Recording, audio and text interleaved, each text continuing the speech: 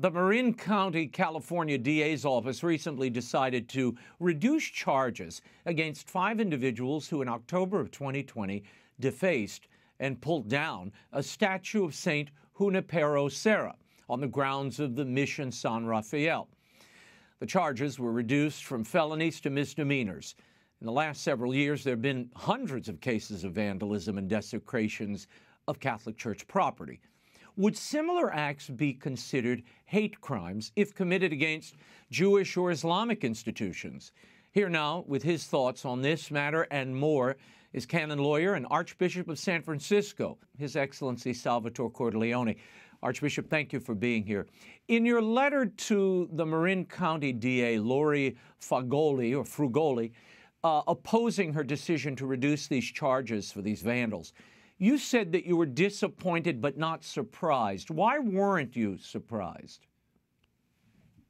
I've received this kind of treatment from government officials before over and over. It became very clear during the COVID pandemic the way the government was treating us. You recall how they were clamping down on houses of worship, conducting worship services, and all the efforts I had to make to uh, force them to free up worship when they were letting other people go back into operation. I would meet with both mm-hmm. uh, government officials here in San Francisco, the bishops of, of California would converse with the government officials in Sacramento. And it was the same thing where they would tell us they're trying to make this work. They want to make sure uh, everyone is kept safe and they affirm what we're doing. In the meantime, they let other people go back into operation, but they keep religious worship services uh, under very tight regulations, not even allowing us to conduct services inside when they allow department stores to be open according to their safety plan.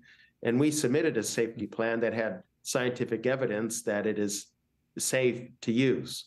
And they would not answer our questions as to why we were being treated unequally. So I've hmm. seen this happen too many times with government officials. So that's why I was not surprised that it happened again. I was hopeful that it might not especially when the DA charged the these uh, uh, perpetrators with a felony charge, a felony vandalism. It did give me some hope, but I wasn't banking on that because I've been around that block too many times before. Hmm. Well, it's remarkable to me that this story drops the same week as a story uh, of a California elementary school. They found a, a burned pride flag in a potted plant and they're investigating that as a hate crime. Do you see the disconnect here? Uh, well, I see the hypocrisy. Uh, certainly, we're, we're not treated that way because we're Catholics. This is all part of anti Catholic bigotry that's been a part of the country from the very beginning. It's waxed and waned. When I was growing up, people my age were growing up, it was waning. We had kind of a more of a consensus around the country of the Judeo Christian ethic the country was started with the Protestant vision, a biblically based Protestant vision, but found ways to accommodate later immigrants, Catholic immigrants, and Jewish immigrants from Europe, principally, and then other immigrants from other parts of the world. But now this anti Catholicism is back on the rise, and this is another example. A hate crime is perpetrated against us, and at least it got charged as a felony, even though it ended up not being uh, a felony charge. Uh, but I knew there was no way it would be charged as a hate crime simply because we're Catholic. Um, so yeah. it's more, uh, well, it's hypocrisy that's happening here. Uh, Archbishop, according to the uh, Marin County DA, this decision came after a thorough review by prosecutors, long discussion among church members, community members, the defendant's participation in what they call a restorative justice process. Were you or anyone at the San Francisco Archdiocese part of those restorative justice conversations with these perpetrators? No, and this is what makes it absolutely outrageous. When hmm. the perpetrators, people were telling me that I, I should go for restorative justice. I was waiting for them to suggest it. When they did, I was the one who suggested we do it before the trial. Normally, it's done after a trial. There's a conviction, so you know there's a criminal, mm-hmm. and then restorative justice tries to bring about reconciliation between the criminal and the criminal's victims. I'm the one who said, well, mm-hmm. let's take this extraordinary step and do it before a trial. Maybe we could avoid a trial. I didn't want there to be a trial. Uh, reconciliation and and re- restoration is better than a trial and a, and a conviction. But the archdiocese was kept out of the process. The mediator was working with the perpetrators, stating she wanted to get them ready, then to, then to then bring in the archdiocese. But she was keeping us at arm's length, and me in particular. She saw me as a problem mm. and the perpetrators as the victims. When I was going this extra wow. mile, tried to be conciliatory, uh, there was a parishioner at the parish who was against me, siding with the perpetrators, and they were listening to him. And now they're saying because of that, there was restorative justice. And I was very clear with them. He's not to be a part of the process. They agreed he would not be a mm. part of the process. Uh, I was very clear. I'm the one who represents the perpetrator, the, the victims of this crime. The pastor represents the right. parish and there are the immediate victims, but all Catholics, especially in our archdiocese, are the victims. I represent them. We were kept out mm-hmm. of the mm-hmm. process. And now she says they participated in restorative justice when the victims, representatives of the victims, were not even involved. I, well, and in your letter, in your letter to the it's district, clearly, it's clearly yeah. because we're Catholic. This would not happen with well, any it, other vulnerable minority well, group. You're right. And look, in your letter, you point out that the officers of the San Rafael uh, Police Department, they watched this felony being committed, and they did not step in to do anything about it because of orders from a higher authority. And there's been no I'm, investigation into who gave that order. Why do you think I'm presuming that's the case? It, I'm presuming it was orders from higher authority because there was an agreement between the parish and the San Rafael Police Department. They knew this statue was vulnerable, that if protesters trespassed onto the property, the police would intervene to stop them. And not only that, this they they were protecting the statue. They they they wrapped it in in uh, some uh, uh, soft um, uh, like cloth, and then wrapped that right. around a very strong plastic uh, packaging material called Visqueen. It's very thick and mm-hmm. heavy. They came with the tools they needed. They knew they had to, to cut this up and remove it and remove the padding in order to deface the statue before tearing it down. Mm. So they they were all hmm. prepared and they knew what they were doing. And there was this agreement, and the police did not stop to intervene. Did, did so not, there was premeditation here. Stop them. And yeah, so there was premeditation on the part of these. They're, they're doing this against Junipero, who defended the people. So you'll see in the in the video clip at, at one point there's a protester holding one of these signs that says "Land back now." Well, actually, that was the plan of the Franciscans. They came to educate and evangelize the Indians, teach them trades, teach them the arts, teach them the Catholic faith, uh, teach them how to uh, cultivate crops using the land, teach them how to domesticate animals and, and animal husbandry, and then hand the territory back to them for their own self governance. But that all fell apart when Mexico obtained its independence from Spain, secularized the missions in 1834, expelled the Franciscans, seized the territory for itself, closed the schools, and then dispossessed the Indians of everything they had been given. And then a few years later, when California went into the American period, there was an explicit genocide on the Indians. They militias mm. went out to exterminate them. So, but the Franciscans their plan was to give the territory back. They weren't able to because Mexico stole the land from the church. So hold your give the land back signs to the Mexican government and the California government, not the Catholic Church. Yeah, no, it's amazing. The, the distortions of Junipero Serra and his legacy is really remarkable and bears no semblance of the historic record, which I've, I've, read, I know you've read extensively, and you just recited some of it. The perpetrators who committed this crime, Archbishop, have been asked to pay mon- monetary restitution to the church to repair or replace the statue. They have to complete 50 hours of volunteer work, uh, apologize in writing, participate in a community forum with a credible historian, and they have to stay off church property. Now, you argue that, quote, this course of action would not have been taken with anyone else. In fact, this crime likely would have been charged as a hate crime, at least if it were perpetuated against certain other minority or vulnerable groups of people, perpetrated rather. W- why do you think that is? Why does it seem these crimes against Catholics or Catholic property is not taken as seriously as crimes against any other group or faith? As I said, there is this long history of anti-Catholicism in the country. It's different now than it was in the early part of the history of this country. Thank God we're past mm-hmm. that now, where it was Protestants, you know, perpetrating this anti-Catholicism. We now uh, enjoy, especially with some groups of Protestants, strong bonds of fellowship because of coming together on, on critical moral issues of our time. So it's now more from what I would call the secular fundamentalists who are opposed to the church's values and, and what we stand for in terms of, well, the dignity of the human person, what it means to be a human person, and God made them male and female, and all all of the, well, what I call the below the belt mm-hmm. issues, right? There's so much yep. opposition to our our our our values around uh, marriage, uh, family, uh, the dignity of human life in every condition, in every situation. There's so much opposition to that. Uh, and so this is what's fueling the anti Catholicism of our own time. What very much worries me is, as I said, this gives the signal that people can get away with attacking Catholic Church property and our sacred symbols without any legal consequence. And we know from yeah. history that it doesn't stop there, it keeps getting worse. We've already seen it getting worse in our own country. Look, for decades yeah. now, the government has been taking away our rights of full religious liberty, right? To serve the community according to our moral values. We have the Catholic Charities adoption agencies, the Little Sisters of the Poor, and then government officials starting, strangely, this term freedom of worship, not freedom of religion. Mm.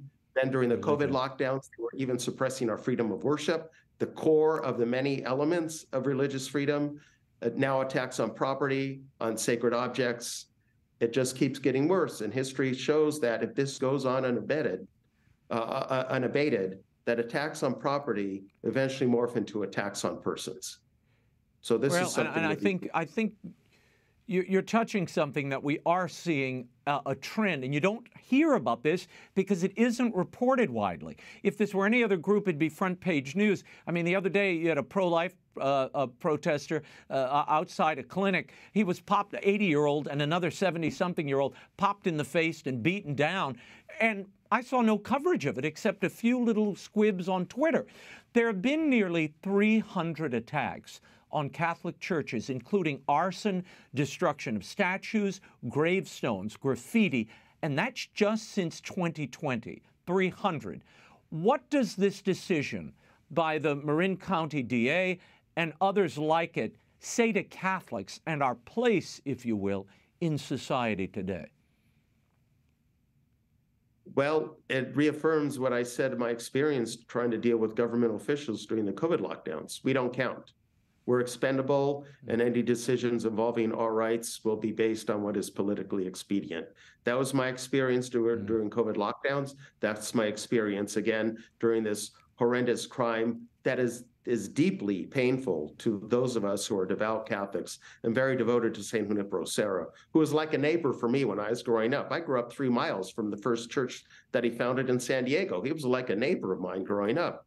And so I have many mm. Catholics like me have this great devotion and fondness for him. He's a true father of California. And so right. this is deeply painful, but we're told, no, that doesn't count. Uh, for other people, it does, when I, when I, not for us. Yeah, when I see this, I think it's another symptom of Americans uh, self-hatred and turning on their very their their own history and who they are, their very persons. When you try to expel somebody like Junipero Serra, who not only founded California but brought humanity and faith to the region, civility and civilization, really. Um, when you try to stamp him out, what are you replacing him with? That's the question. I have to move on to another story. The Dodgers, as I don't have to tell you, have decided to reinvite this anti Catholic group of drag queens, the Sisters of Perpetual Indulgence, to their what they call Pride Night later this month after mounting pressure from the LGBTQ community. Your Excellency, this group openly mocks the church, um, obviously lampoons nuns and the person of Jesus himself, turning him into a sexual object. I'm not going to show the video, but um, I know you're a big baseball fan. What was your reaction to the Dodgers' decision when you heard it? Oh, I felt disgusted. But it's another example of how it keeps getting worse. They've been doing this for many, many years without any consequence. That's not enough. Now it's being celebrated in the popular culture, right? So it just keeps getting worse. And uh, again, would this happen with any other religious or minority group? That the, the country would celebrate a group that disparages them and violates what they hold sacred? But somehow with Catholics, it's allowed. And this this has nothing to do with the dignity of LGBTQ people, right? I know many of them have been harmed because of their sexual orientations and their their perceived gender identities. I know they've been harmed, but this is this is not about affirming their dignity. That this is just absolute indecency. Everyone should be opposed to this, regardless of where they lie on that spectrum, mm-hmm. because it's just plain indecency and and should not be accepted in any kind of a civil society. Archbishop, do you think the Dodgers and other groups feel um, empowered or free to kind of engage in this kind of political activism because Catholics have sort of opted out of the public square or simply don't believe any longer? Is that what we're seeing? Kind of a diminishment of practice and belief, so nobody steps up to defend uh, the church or its symbols or its statues or even what it stands for. Pope St. John Paul II knew what it takes for uh, truth and, and justice to prevail. It's solidarity. The trade union in Poland was solidarity, right? It was because of solidarity that it, the movement began in Poland and they were able to bring an end to the Soviet Empire with solidarity, we could prevail. It's, as you say, it's a lack of solidarity among Catholics. We become too complacent and too accepting of whatever the social pressure. Social pressure is a very intense uh, mechanism to get people to conform. We've been too complacent with that. But I'm afraid the time is not long before we will have no choice because I see this getting worse and worse and worse. There will be no room to be a complacent Catholic. And maybe this is the mm-hmm. winnowing process the church needs that God is providing for us in our own time. So I'd make this plea to my fellow Catholics. Please be faithful. Yeah. Please be true. And let's bond together in solidarity for what is true, right, and good for all citizens. Major League Baseball players have objected to what the Dodgers are doing here. They've even rebuked them. Uh, Catholic player Trevor Williams, who pitches for the Nationals, tweeted the following earlier this week To invite and honor a group that makes a blatant and deeply offensive mockery of my religion and the religion of over 4 million people in Los Angeles County alone undermines the values of respect and inclusivity that should be upheld by any organization. I also encourage my fellow Catholics to reconsider their support of an organization that allows this type of mockery of its fans to occur. Your thoughts, Archbishop, on his statement, and should Catholics boycott Dodger games or at least this game?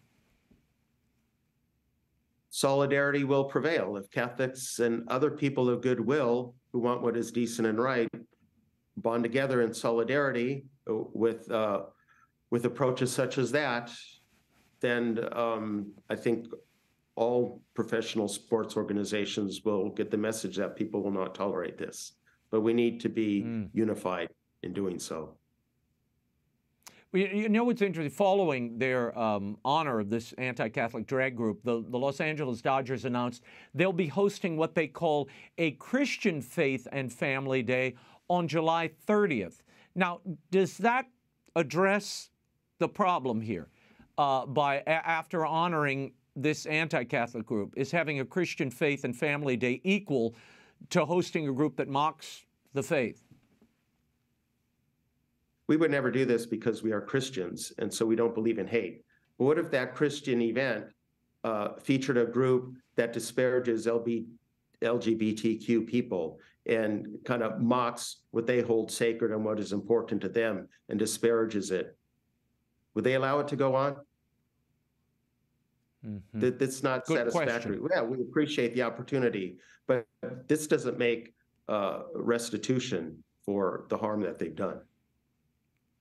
No, I, I, had a player tell me, uh, uh, I won't say who, but an African American player say this would be like inviting the Klan in one day and a few days later having the Black Family Day. He said it doesn't fly with me, but uh, I'll let him speak for himself in time. Archbishop Salvatore Cordileone, we thank you for being here and uh, thank you for your time. Thank you.